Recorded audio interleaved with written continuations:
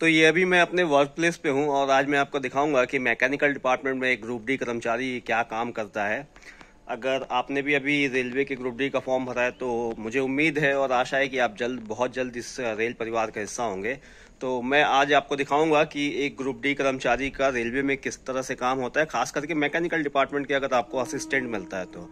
तो देखिए, यहाँ पे मैं अपने वर्क प्लेस पे हूँ और ये एक डिपो है, जहाँ पे ट्रेनें चल के आती हैं तो उनका शेड्यूल मेंटेनेंस यहाँ पे किया जाता है। शेड्यूल मेंटेनेंस ट्रिप मेंटेनेंस इसके अलावा जो उनमें मेजर प्रॉब्लम होता है, उसकी भी मेंटेनेंस यहाँ पे की जाती है। तो यहाँ पे आप देखिए, दोनों तरफ़ यहाँ पे ट्रेनें खड़ी हैं और असल में ये जो ट्रेनें हैं, इनमें प्रॉब्लम है, कुछ में मेजर प्रॉब्लम है, कुछ में माइनर प्रॉब्लम है।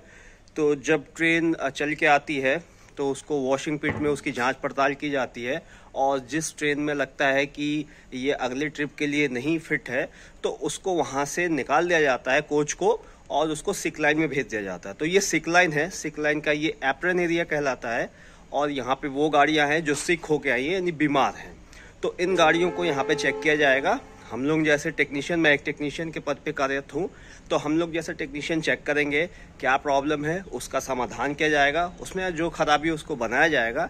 अगर इसके अलावा प्रॉब्लम ज़्यादा है तो उसको फिर यहाँ से शेड में लेके जाते हैं, जहाँ पे पिट है, गोदी है, जहाँ नीचे गड्ढा रहता है, जहाँ ट्रेन के नीचे घुसा जा सकता है, और उसके अलावा वहाँ पर ट्रेन को लिफ्ट करने की भी फैसिलिटी होती है। तो वहाँ से ट्रेन को लिफ्ट करके नीचे अगर कोई प्रॉब्लम है तो उसको ठीक किया जाता है। और यहाँ पे जनरली अगर मैं आपको दिखाऊँ तो जो भी यहाँ पे ये देखिए ये कोच का जो व्हील वगैरह का हिस्सा है, मैं आपको दिखाता हूँ। जैसे ये व्हील वगैरह है, अगर इसमें कोई किसी तरह की कुछ प्रॉब्लम आती है तो उन सब चीज़ों को यहाँ पे ठीक किया जाता है। बाकी अगर मेजर प्रॉब्लम है, गाड़ी को लिफ्ट करना है तो उसके लिए गाड़ी को अंदर शेड में ले जाते हैं, जहाँ पे क्रेन लगा हुआ है और बहुत सारे जैक हैं जो गाड़ी को लिफ्ट कर देते हैं और फिर वहाँ पे गाड़ी का रिपेयर किया जाता है। तो अगर आप ग्रुप डी में आते हैं, मैकेनिकल डिपार्टमेंट के अंदर तो आपको कुछ इसी तरह का डिपो देखने को मिलेगा, जहाँ पे आपको काम करना होगा।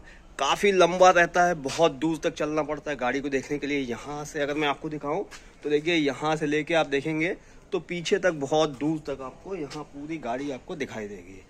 तो ये जो हम लोग का डिपो है, काफ़ी खूबसूरत डिपो है। बहुत सुंदर है, हरियाली वगैरह बहुत अच्छी है। यहाँ पे साफ़ सफ़ाई भी बहुत बढ़िया देखने को मिलती है। तो काम करने में बहुत मज़ा आता है, कोई दिक्कत नहीं होती है। माहौल भी बहुत अच्छा है, सुपरवाइज़र वगैरह सारे लोग बहुत अच्छे हैं स्टाफ भी बहुत अच्छा है। तो जहाँ आपको स्टाफ, सुपरवाइज़र सारी चीज़ें अच्छी मिलती हैं तो वहाँ आपको काम करने में मज़ा आएगा। तो ये वीडियो कैसे लगी कमेंट करके बताइएगा। वीडियो देखने के लिए धन्यवाद।